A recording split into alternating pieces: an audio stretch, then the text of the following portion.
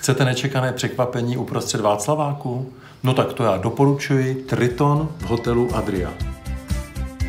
V Krápníkové jeskyni čaruje magický šef Tomáš Horák, který nazbíral zkušenosti po celé Evropě.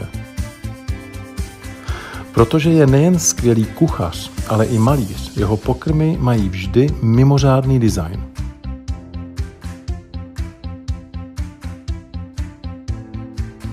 Samotná restaurace mě přitahuje zvláštní intimitou, tolik potřebnou v trochu hektickém centru Prahy.